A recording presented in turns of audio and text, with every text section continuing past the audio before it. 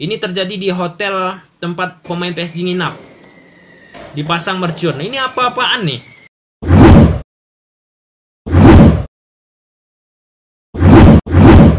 Hey ulang coba-coba. Nah, teman-teman, kali ini kita bakal membahas pertandingan Barcelona menghadapi PSG. Perang sewar terjadi antara kedua supporter, baik itu Barcelona ataupun PSG. Nah, karena belum mulai pertandingan, otomatis tidak ada perang taktik. Tapi, perang sewar terjadi antara supporter Barcelona dan supporter PSG. Nah, yang paling menohok, yang menjadi perbincangan oleh media-media luar, teman-teman, ada dua Pertama, penghinaan yang dilakukan oleh berbagai oknum kepada Presiden PSG, Khalifi, teman-teman, ketika sampai di Barcelona. Dia mengatakan, oknum tertentu, guys, yang mengatakan kepada Khalifi, Presiden PSG, ya hinaan lah, pengejekan lah. Nanti kita uh, lihat, guys, ya di video, guys, ya, terkait tentang rencananya, rumor-rumornya Messi bakal diangkut ke PSG. Dan selanjutnya, mercun yang dilakukan oleh oknum-oknum supporter Barcelona, dihidupkan oleh oknum tertentu, di depan tempat penghinapan dari pemain PSG. Oke, tanpa berlama-lama lagi kita langsung menuju ke grafis dan video yang sudah kita siapkan. Nah, saywar pertama yang dilakukan oleh supporter PSG guys sudah terlihat dari beberapa hari yang lalu. Kita lihat guys, video pertama guys. Aku juga penasaran. Nah, di sini guys, ini supporter PSG guys ya. Berkumpul tanpa takut corona. Luar biasa guys. Nah, di sini supporter PSG bawa spanduk yang bertuliskan apa apa tuh guys ya? Puca ya. Puca Barca. Nanti guys ya, belum kelihatan. Tapi ini mereka luar biasa guys ya. Tidak dibubarkan kerumunan seperti ini. Luar biasa. Kita lihat guys apa tulisannya Puca. Oh, nah ini guys tulisannya dari spanduk yang mereka bawa Futa Barca. Nah, ini artinya nggak bagus guys ya. Nah, ini mungkin artinya kurang lebih huruf F tuh. Terus itu ada U, terus itu ada C, terus itu ada K. Nah, itu tulisan apa? Aku nggak mau bilang. Sia-sia aja nanti mulutku guys ya.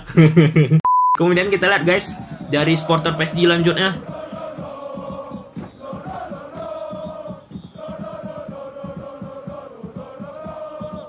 Ini corona kok nggak mereka pikirkan ya? Tapi salut sih aku respect guys ya hal-hal seperti ini yang dilakukan oleh supporter. Tapi dengan kondisi sekarang corona di mana-mana ini nggak nggak nggak layak sih menurut aku. Kita lanjut guys.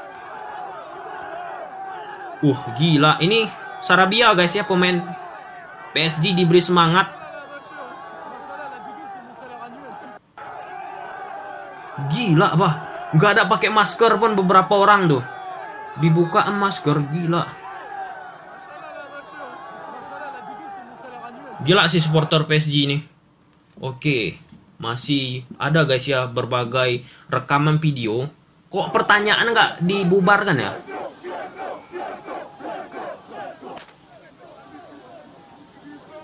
Gila, gila. Kim Pembe guys. Ini bingung aku guys ya. Kebijakan yang di Perancis sana gimana ya tentang corona? Kok tidak dibubarkan? Kita lanjut. Ini video lanjutan lagi. Gila sih supporter nah ini lokasi mereka nih di camp PSG guys ya. Camp the lungs kurang lebih seperti itulah konotasi bahasa ya uh gila memang fanatisme ya tapi corona gini kok santai-santai aja mereka ya ini cluster nih, jadi cluster nih guys. Kita lanjut guys. Video-video masih banyak sih terkait tentang pertandingan ini ya di luar lapangan. Ini Leonardo, direktur olahraga PSG.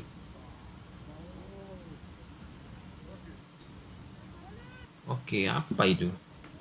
Kita lanjut guys. Nah, ini Korjawa. Kurjawa, Kurjawa. Diteriaki. Kalau bisa Kurjawa kantongnya matikan pergerakan Dembele. Oke, oke, oke, oke. Boleh lah, boleh, boleh. Kita lanjut guys, video selanjutnya. Ini Mbappe ya. Mbappe. Mana Mbappe yang kok Oh, sana. Udah masuk ke dalam Mbappe lah. Cepat ya pergerakannya. Kita saksikan lanjutannya guys ini. Ini Mbappe ya. ini ketika sampai di Barcelona ya. Di hotel guys. Luar biasa. Ini antara yang teriaki itu berharap Mbappe di Barcelona atau memang cyber juga dilakukan oleh supporter oknum tertentu lah aku bilang guys ya. Ini latihan ya. Ini kayak di Mbappe ini dari motivasinya tinggi banget ya. Santai ya, nggak tegang ya. Kita saksikan lagi guys. Nah ini pelatih official tim PSG terlihat ya sedang memberikan latihan tentang fleksibilitas keseimbangan ya ketika menghadapi Barcelona yang tentu permainan bola-bola pendeknya guys ya cepat jadi harus pergerakan pemain juga secara reading the game harus bagus. Kita saksikan kembali guys. Ini. Uh ngeri ngeri ya. Besar besar orang ini ototnya. Cool cool. Menyeramkan ya. Menyeramkan dalam tanda kutip guys ya. Kalau kita melihat pemain PSG menyeramkan ini jadi takut kita ngelawannya. Nah ini salah satu hal yang cukup menarik guys. Nih sebelum kita putar guys ya. Ini terjadi di hotel tempat pemain PSG nginap. Dipasang mercun. Ini apa-apaan nih? War yang luar biasa guys. Mungkin lagi apa ya? Perayaan apa ya? Mungkin di dekat hotel pemain PSG juga. Aku positif thinking aja. Mungkin lagi ada perayaan. Nah ini dia guys. Luar biasa. Ngapain masang mercun di tempat pemain PSG tidur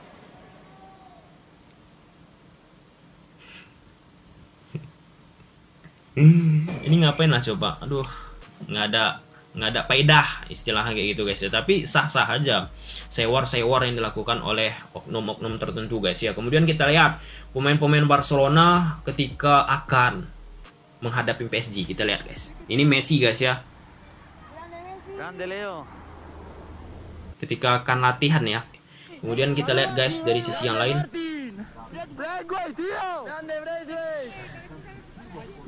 ini Lord Bradway. Disamakan dengan Ronaldo.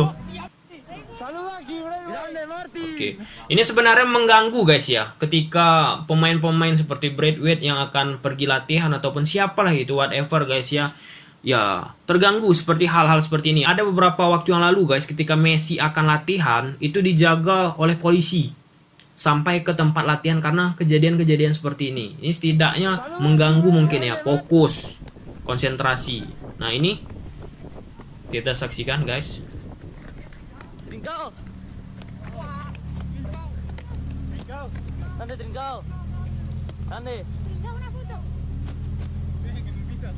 Lihat itu. Di tengah jalan di stop. Wow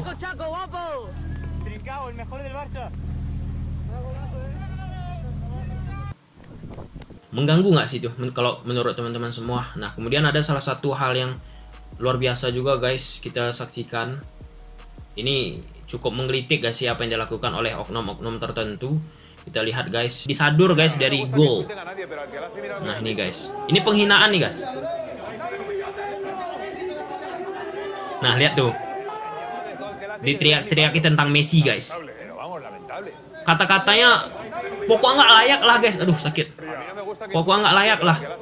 Ini masuk dia ke hotel di Barcelona guys ya. Presiden dari PSG hal-hal seperti ini sebenarnya membuat clash ya. Mungkin ya suatu hari antara supporter juga pastinya antara Barcelona dan PSG teman-teman. Oke. Itulah dia beberapa kejadian-kejadian di luar lapangan yang menjadi headline pemberitaan akhir-akhir ini guys ya sebelum pertandingan Barcelona menghadapi PSG hal-hal seperti ini sebenarnya fair. Uh, war. Mungkin teman-teman su juga sudah sering melihat di Liga Inggris Mourinho dengan Arsene Wenger beberapa tahun yang lalu. Tetapi kalau berkaitan tentang memasang mercun di depan hotel untuk mengganggu ganggu ya nggak patut ya guys ya. Tapi kembali ya ini mungkin pandangan aku nggak patut aku bilang tetapi mungkin pandangan teman-teman patut sah-sah aja memasang kembang api mercun di depan ataupun tempat penginapan hotel dari pemain PSG tapi aku berpikiran positif apa yang mereka pasang itu guys mercun bisa jadi itu ada perayaan ulang tahun kek ataupun perayaan buka uh, kafe kek ataupun perayaan buka hmm, restoran kek. Nah, tapi aku berpikiran positif guys ya. Maka aku sampaikan seperti itu. Kalau misalnya kita berpikiran negatif, otomatis ini nggak sebenarnya nggak boleh lah. Jangan seperti itu.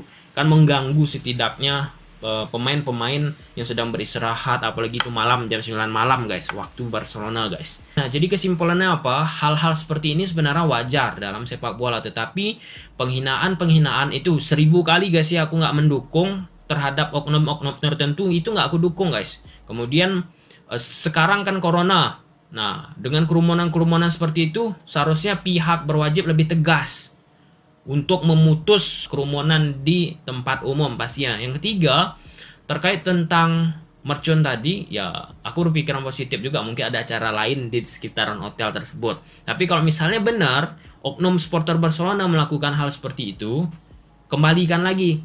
Misalnya fans ataupun klub yang teman-teman cintai, teman-teman suka dilakukan seperti itu. Apakah teman-teman mau?